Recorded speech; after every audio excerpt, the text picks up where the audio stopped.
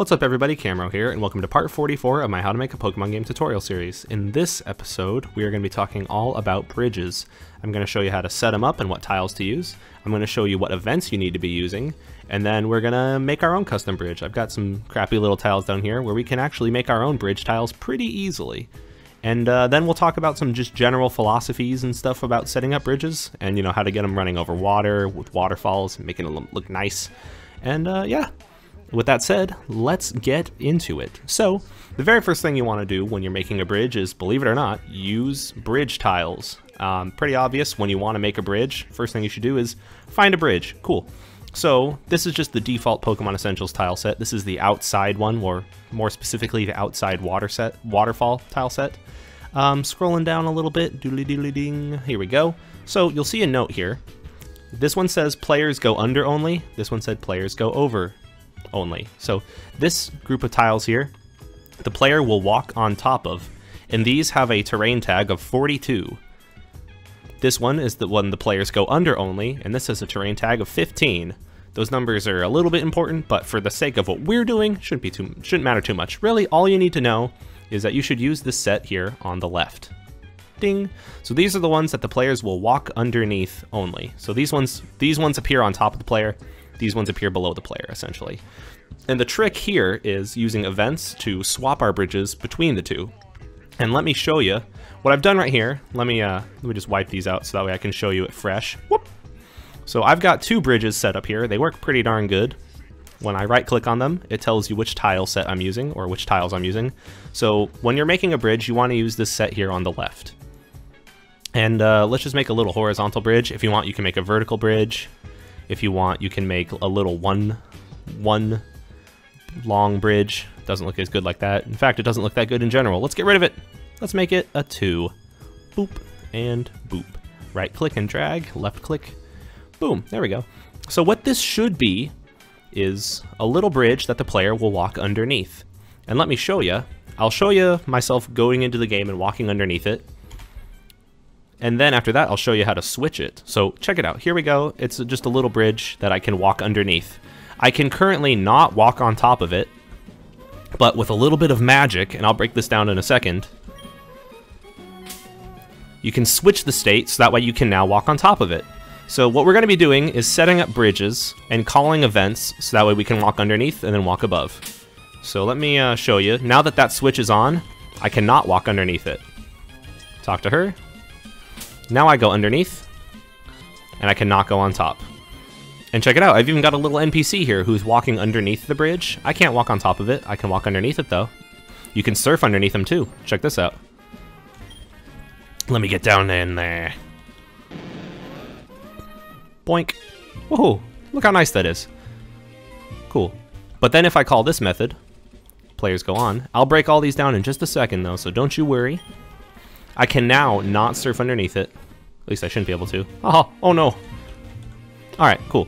So, what am I doing here that makes the bridges change states? It's actually very easy. Let me show you. Boop. Let me go into our game here. So this one is calling a method pbbridgeOn. That's all it is. pbbridgeOn. And what you can do if you really want is plug in a number here but by default, you don't need to. You can just call pbbridgeOn. If you go into the scripts, there's bridge on and bridge off. These are just defined here. This is all they do. They set bridge heights, and um, by default, it sets it to two. If you want, you can plug in three or four. Um, don't don't type in one because the player is more than one in terms of height. So if you want the bridge to be above you, it should be two or higher. So it defaults to two. Really, don't don't stress about this too much. You're just going to be calling bridge on and bridge off. These are the two functions that you're going to be calling. If you want a really great example of how to set this up, you can go to Route 2 in the default maps, and they actually call it here. What they've done is they've set up an event where when you walk onto this tile, it turns the bridge on. When you walk onto this tile, it turns the bridge off. So the way that we're going to set our bridges up is like this. When you're walking, do, I'm walking to the bridge, ding, I hit this tile, turns the bridges off. That means that I, when I hit a bridge, I will walk underneath it and not on top of it. Bridge off means you walk under. Then you walk up one tile, ding, you hit this one. That turns bridges on. That means I walk over. So bridge off is under, bridge on is over. So this is set up so that if you want to walk onto the bridge, do do do do do do do ding, cool, bridge is now on, and then I can walk over it. And then if I want to leave, I'm leaving the bridge, I'm walking down, boom, I turn them on, boom, I turn them off. So the last state when leaving is that the bridges are off now.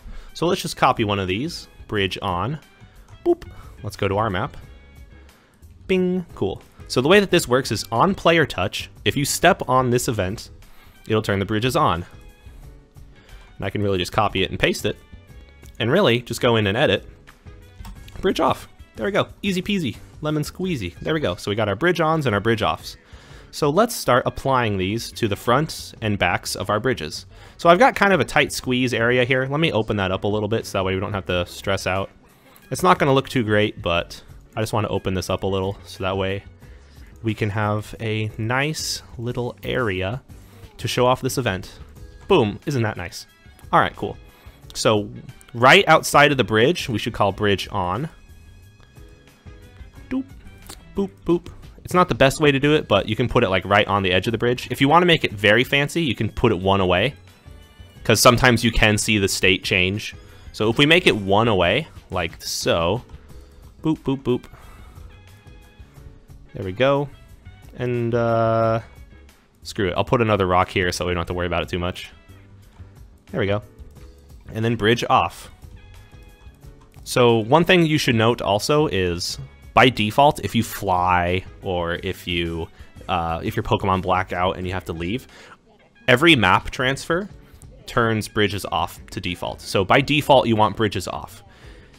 You you really only want to call bridge on when you're right about to cross over a bridge. So the general default state of these bridges should be uh, off. But then you call it on right before you walk on the bridge.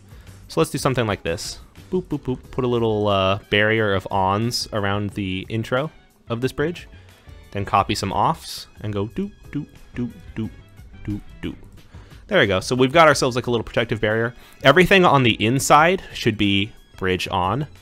Everything on the outside should be bridge off. Cool. And then I'll do it for this one also. Like, one thing we really could do here is just call bridge on, like on, on these stairs. We could call them anywhere we want, really. Um, as long as bridge off, boop, boop, boop, boop.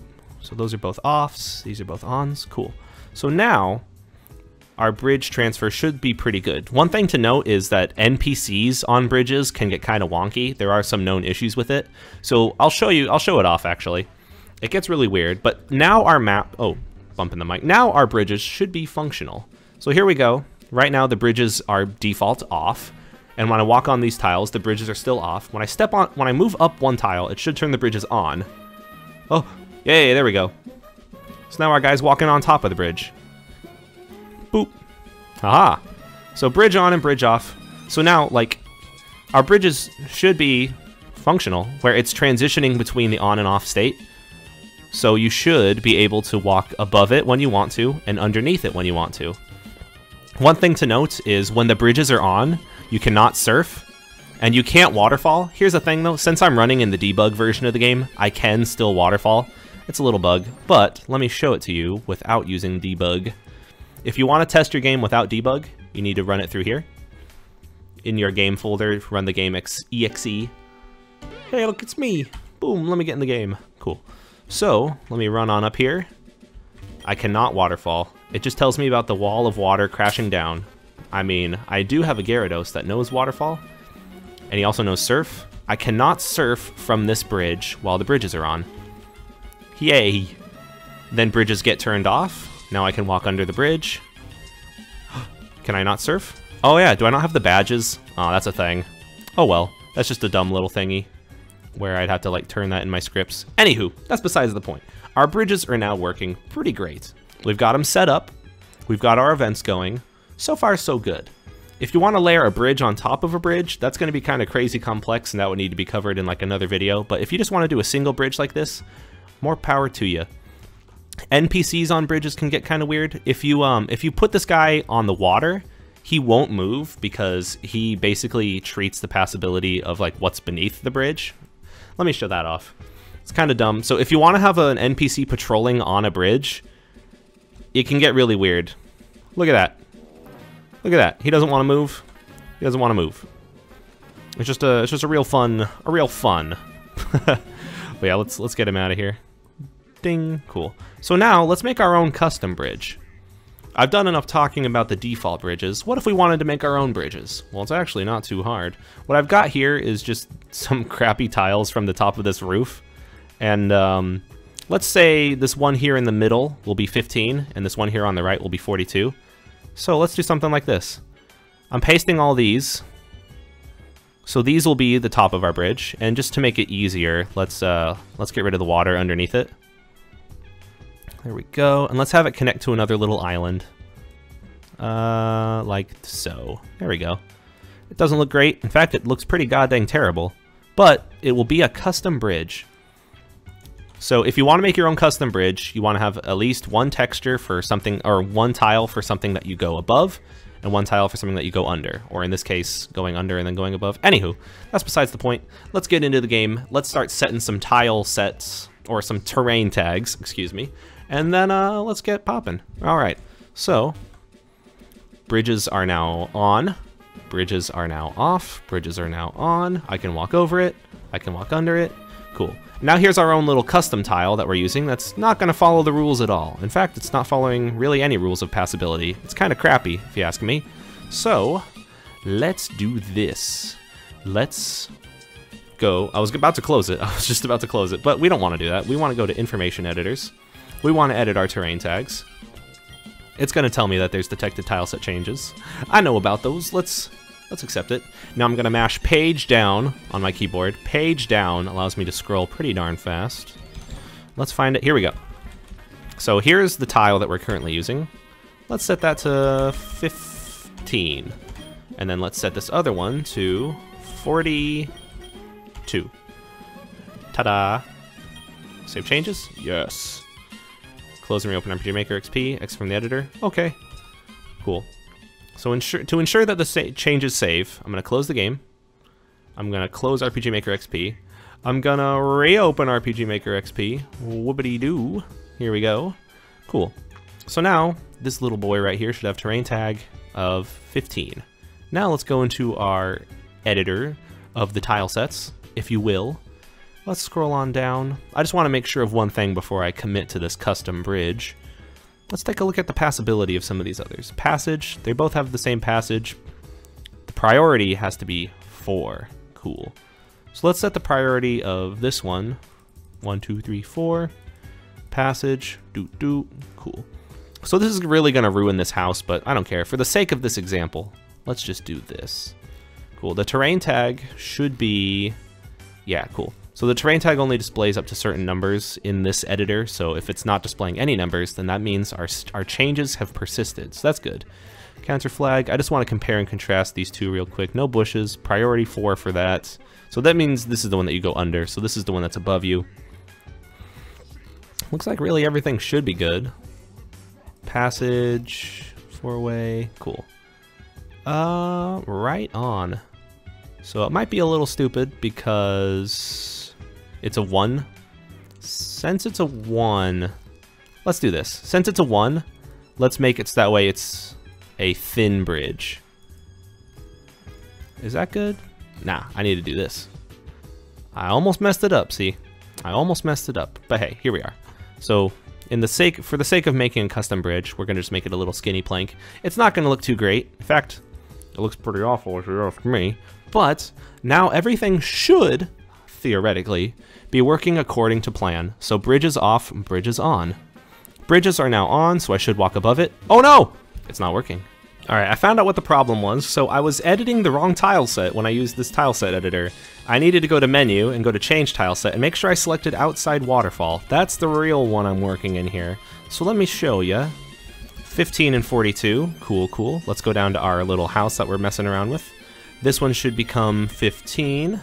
This one should become 42. Cool. Save the changes? Yes, please. There we go. Now I can exit from the editor and everything should be good. I just need to set the uh, priority and passability of the tiles again.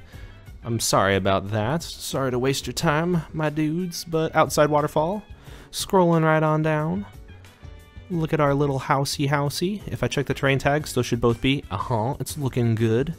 Set the priority of this one to be 4. Set the passage of this one to just be boop boop. And then this one should just be boop. Cool.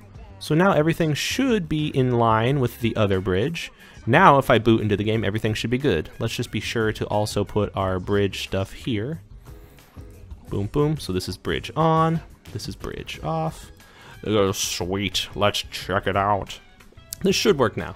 Hopefully everything works now. I hate editing the wrong tile set. Makes me feel dumb. This, if it works, will make me feel smart. Yes, it's working. We've made our own custom bridge that we can walk underneath. Oh, yes, and then above. Oh, looky that. Look how happy I am. I'm gonna do a little bridge dance.